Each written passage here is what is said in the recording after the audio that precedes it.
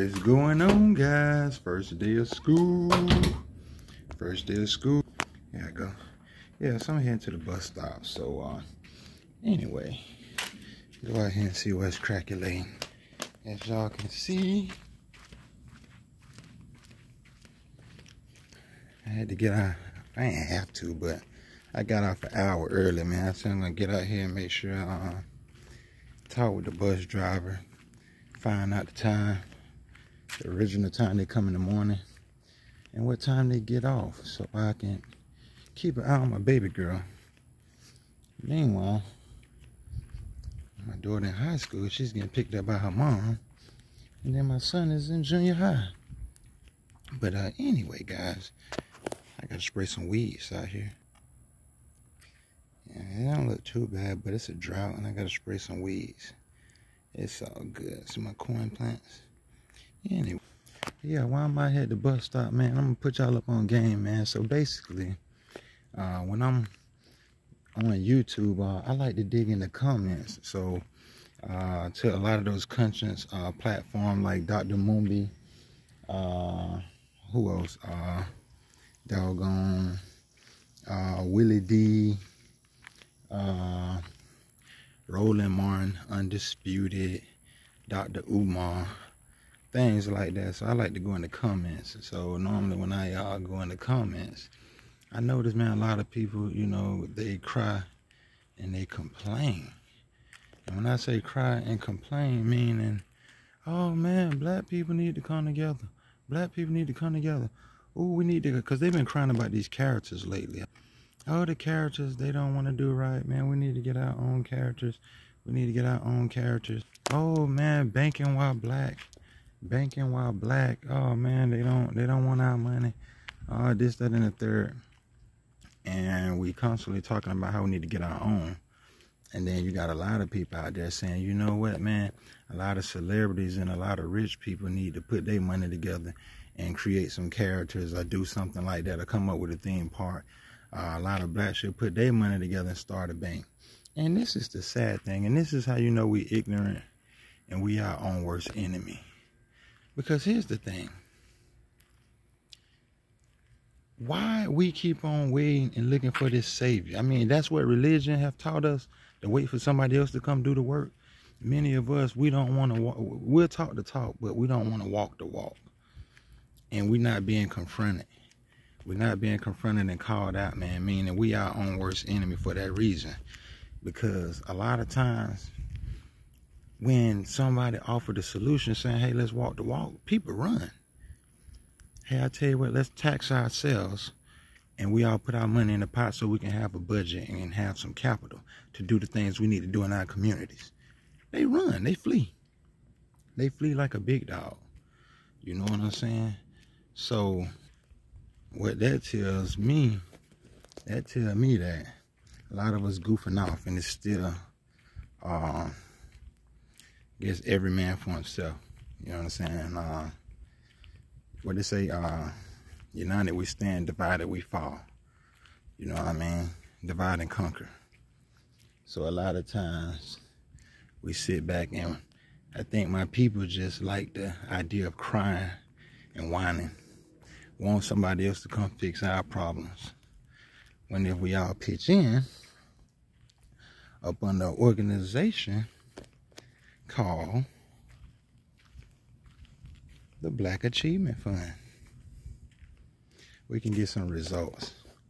But like I say, uh, a lot of time people in the comment, and it's easier said than done. We need to do this, we need to do that. But then when it's time to put in that groundwork, don't nobody want to do nothing. And then another thing is we need our own uh, characters. Man, locally, wherever you live, why don't you Google to see if there's any characters in your area? And the reason I'm saying that because, man, my daughter just had a birthday party, and that's exactly what I did. This was before the Sesame Street character thing. This was before the Chuck E. Cheese character uh, situation. We hired some black characters to come by and entertain. Uh, we need our own uh, what else they say? Man, we need our own black banks. Banking while black is crazy. And it's like, you got the internet. You spend all your time on TikTok, Facebook, Instagram. We got First United. We got Citizen Trust. Like, how many people doing their homework on black banking? And then not just that. The same thing with social media. Oh man, TikTok racist, man. They racist. They this and this. They that and that, and they bashing it. And then it's like, once you go and sign up for Fanbase. And then I mean, I remember when JD had his platform. What was the name of uh, JD platform? And it was doing it was doing fairly well.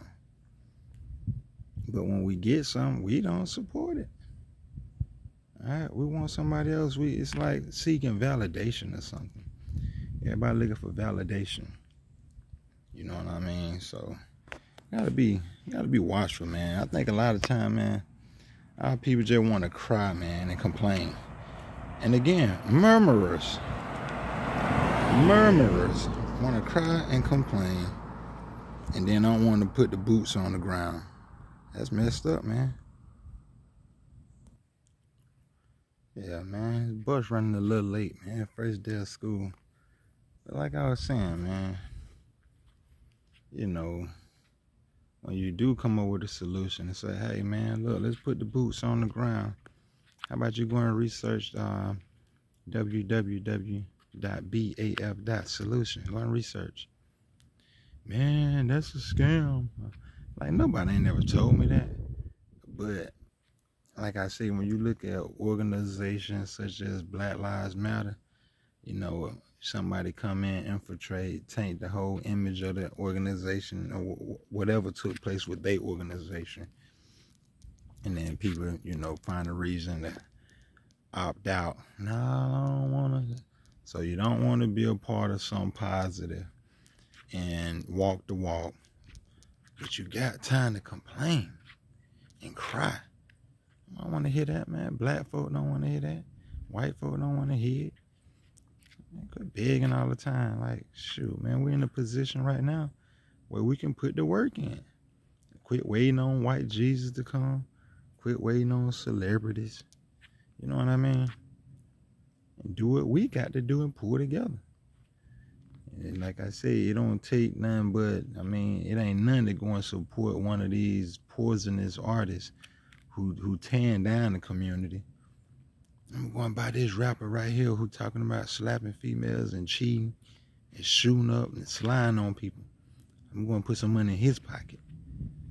See what I'm saying? Boy, we wrong, but and ain't nobody saying nothing. And ain't nobody doing nothing. You know what I mean? Sure, you can be the small man on the totem pole to be out here in your community making something happen. You know what I mean? Giving back, having block parties. You ain't got to be rich. Hell, I do it. I do it every year. I ain't rich. Pull together with my community. You know what I mean? That cul-de-sac you see right down there. Why they see that big old cul-de-sac down there? Get it popping. You know what I mean? Bring it, let the children come out. Give away pencils, book bags, school supplies. Have snacks, bouncy house, have the firefighters to come out. You know what I mean? Some other representatives. You know what I mean? But like I say, everybody find everybody like to find excuses, and that ain't gonna get you nowhere. Excuses, excuses, excuses, crying and murmuring. We need our own banks. We need our own characters. All of the people we help make rich by watching their movies, like Tyler Perry and the the Jay Z's and the Michael Jordans, all of them people we supported, we want them to come back and use their personal money to fix all our problems. But we ain't, man, boy, stop. Join the movement. For real, for real. Boots on the ground.